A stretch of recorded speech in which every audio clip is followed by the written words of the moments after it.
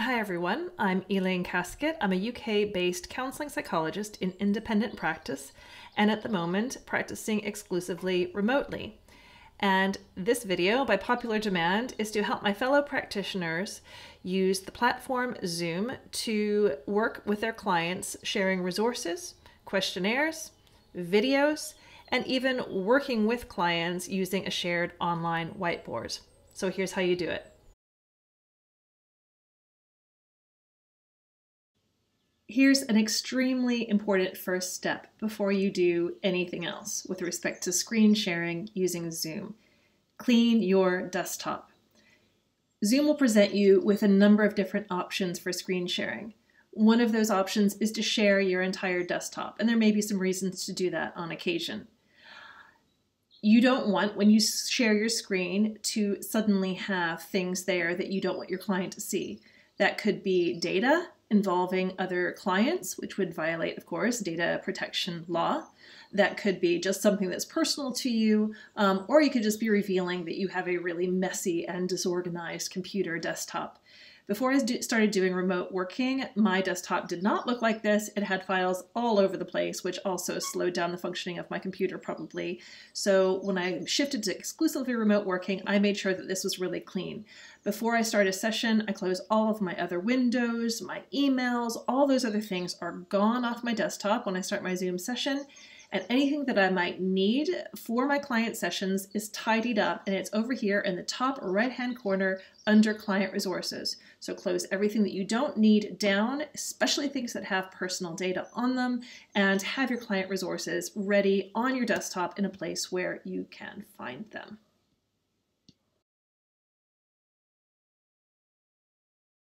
You don't always know in advance which resources you are going to want or need in a session with a particular client. It might emerge organically. However, there are lots of situations that you can anticipate this. For example, if you consistently use the GAD or the PHQ questionnaires to assess how a client is doing. Before a session with a client in which you can anticipate that you might be using particular resources, make sure to have those resources ready and open on your desktop. It's going to save you time when you're in your session with your clients. I'm going up here to Client Resources, and I have mine organized in Guides, measures, slides, values, and videos folder. And I've got a couple of things here, including who do I want to be in COVID-19, a diagram that I really like that I'll show you at the end or as one of my examples for sharing. And so let's say that at the beginning of each session, I administer the um, cognitive fusion questionnaire to my client, which is a measure that's commonly used in acceptance and commitment therapy. I'm going to want to have the CFQ open and ready on my desktop in case um, uh, so that my client, when I get to screen sharing it, it's going to be right there to see it. And I think I'm also going to do this nice little COVID-19, who do I want to be? I'm going to open that one up too, because I think that maybe I might be sharing that with some clients today. Now I'm going to close this back down into client resources. And the next step is to get ready for my session. Okay, I'm now in my Zoom session and I don't have a client online with me at the moment, but I'm still going to be able to demonstrate what how to do the screen sharing that you're going to need to do with a client. There are three different places where you can start sharing. One is down here at the bottom that says share screen, so that can be double clicked. One is at the top under meeting, and you go here and it says start share. But if you prefer, and it's probably easier and slicker to learn what the keyboard commands are so you're not doing all of this kind of stuff when you're on with your client and was thinking, oh, where was that? It's Shift Command S on a Mac. What it is on a PC, I can't speak to that, I don't know. But start share. Okay, so when you click Start Share, you're going to be given options of what to share. So this is what, where it comes in, what you've planned to share with the client. Start Share. So you can just share files, from Google Drive, from OneDrive, from Dropbox. But if you go into Google Drive or other places, there's always the chance that the client's going to see data that you don't want them to see. Um, you can share a portion of the screen, just computer sound, content from somewhere else, but most of the time you're going to be here in BASIC. As you can see, the two things that I pulled up before, um, the COVID-19 Who Do I Want to Be diagram and the Cognitive Fusion questionnaire, um, are both there uh, available for me uh, to, to share. So I'm going to choose, first of all, to see how the client is doing with Cognitive Fusion. I'm going to select this and I'm going to hit share. Now, now the client is going to be seeing the CFQ. That's what they're going to be seeing on their screen. Um, and so you're going to be able to scroll down through the CFQ with the client and they can either annotate there's an annotate button here and they can press on that and they can, for example, they can put a star stamp or a heart stamp or a tick stamp on one of those things and you can scroll down through and say, okay, tick this for me, tick this for me. Where would you put this? Where would you put this? Now you may be recording that on your own copy of the CFQ for the client that day or just writing in your notebook or whatever, uh, but there's a variety of things that they can use. They can even circle it here. They could put text. They can draw. There's a little thing there so that they can do this here. Uh, you and so yeah, so that's one of the things that you can. Uh, that's what you one of the things you can do. So if they're a client or on here, I would um, be able to give them remote access to um, annotate the, the screen. Okay. Now um, I'm going to instead uh, start some, a, a new share and I'm going to share COVID-19 who do I want to be? So you notice that I just went up there and put new share. I didn't have to do stop share. I did new share. I can also pause it or do a number of other things. So now I'm going to share the preview of COVID-19, who do I want to be? And I'm going to share that with my client. So now it's going to be this that the client is, or clients are seeing, this diagram here. And that should be fully filling their screen. When I'm ready to stop sharing, I click stop share. And as you'll see, I come back full screen and we're back in the session.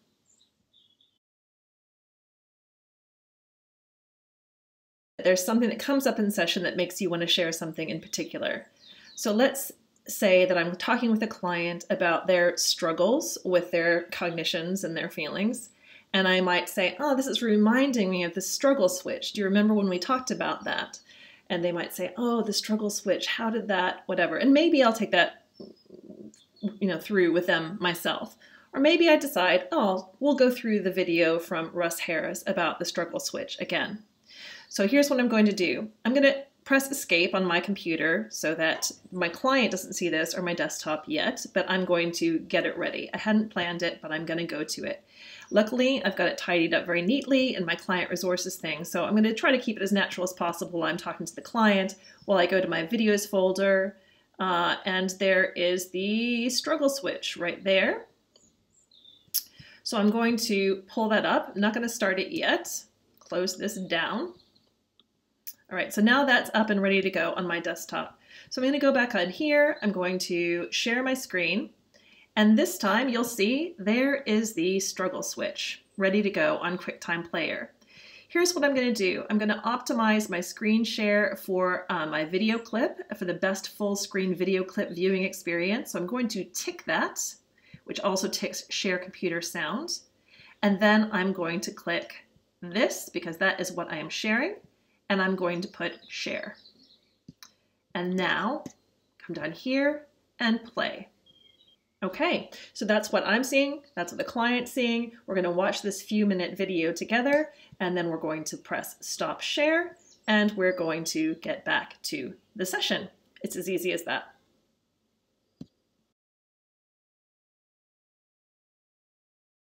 The online whiteboard, which is a brilliant feature of Zoom that not a lot of people realize is there. So I'm going to again share my screen. This time I'm going to do Command Shift S. There you go. You didn't see the mouse going around all like that.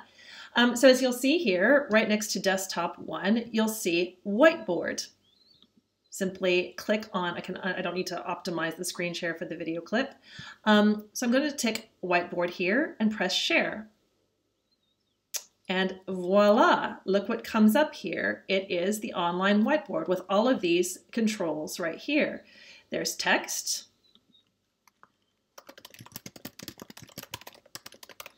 Client can also put text, we can draw, we can put stamps, we can spotlight something, we can erase things. Uh, we can format different things, do things in different colors and lines, undo things, redo things, uh, clear it, completely to start all over again, and then we can save it because maybe you want to save it, and maybe this is something that you want to um, uh, do with your clients later, um, uh, or you want something that you want them to remember. So if we've done the ACT matrix, for example, um, and uh, uh here's the matrix, and I'm going to do this for the matrix. I'm going to say, okay, so what are we going to put today? Uh, what thoughts or you know feelings are kind of coming up that are getting in the way, and we're going to put it and type it into the different quadrants, um, and then we can save it and send it to the client later for their reference. So Online Whiteboard has unlimited possibilities.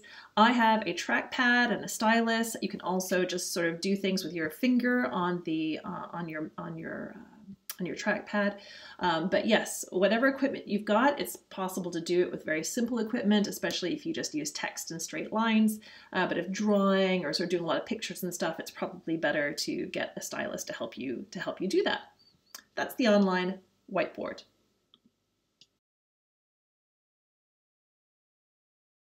resources that have been set up by other people that you can access or that you can make yourself. For example, if you want to make an animated PowerPoint to illustrate something and export that PowerPoint slide as a video, you can learn how to do that by tutorials on YouTube, etc. But I just wanted to show you a couple of examples of other folks' resources that I might use and screen share in Zoom in a session with a client. So I'm going to navigate over to Client Resources here and find Slides. Um, and here we have some slides associated with the ACT matrix, uh, which were available and downloadable from uh, onto Box, which is a file storage thing. Uh, so here's some matrix cards. So in, in, in session with clients, I often use cards, values cards, matrix cards like this. So I might share these in a client within a virtual session. Um, so here's some instructions for using the cards, uh, but uh, here we go, some illustrations, my comfort zone, my self-care zone, where the magic happens. Um, so lovely little points here that I can work with in session with my clients. Uh, maybe we're working on identifying or clarifying a certain thing and the matrix cards are going to be useful. So we might do this exercise. And once we've clarified some things and thought about some of these aspects, maybe I will screen share with them another matrix associated exercise. Maybe we'll do something together. In this case, I would have this ready and open on my desktop. Um, the online matrix slides that present the matrix. These are animated. Um, so it's all about away and towards with the matrix, uh, towards values, uh, and then running away uh, when you're uh, afraid. Towards, away. Here we go. Who's important? Other important things. Stuff that shows up. These are behaviors that are observable outside the skin. Away moves there toward moves there. So this would be me talking through the ACT matrix with the client, reviewing the model with them. Uh, and then we would be working together on filling in things in these four quadrants. And again, sharing the screen with the client enables both of us to annotate things we could, I'm not in Zoom at the minute, so I can't show you, but I could do text in one of these quadrants. I could draw it freehand or write freehand or text, and so could the client. So we can work on this together in a virtual session, just like we'd be able to do if we had printouts and a piece of paper in the room. In fact, we might actually be able to do it better. This is one area where virtual working and screen sharing actually allows you to do something more seamlessly than you might be able to do it in a face to face physical psychotherapy session.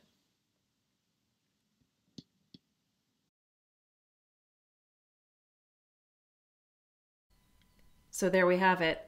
Getting familiar with screen sharing and having your desktop organized and ready enables you to do all the things that you can do with clients in face to face physical sessions and in some case, even enables you to do them that much better. And so I hope you've enjoyed this video and it's given you some inspiration to bring your online, virtual, remote psychotherapy practice bang up to date and to make you feel even more effective in the work that you're doing during COVID 19 and remote working that you might do at any other time. Again, I'm Elaine Kasket. Feel free to get in touch with me at contact at drelainekasket.com. I'd love to hear from you. The Cognitive Fusion Questionnaire was de- developed by David Gillanders and colleagues and is available on this website here. The matrix cards were developed in 2018 by Benjamin Schoendorff. You can visit his website at contextpsy.com. Same for the matrix slideshow. And the struggle switch video, amongst many other helpful videos from Russ Harris, are viewable on YouTube.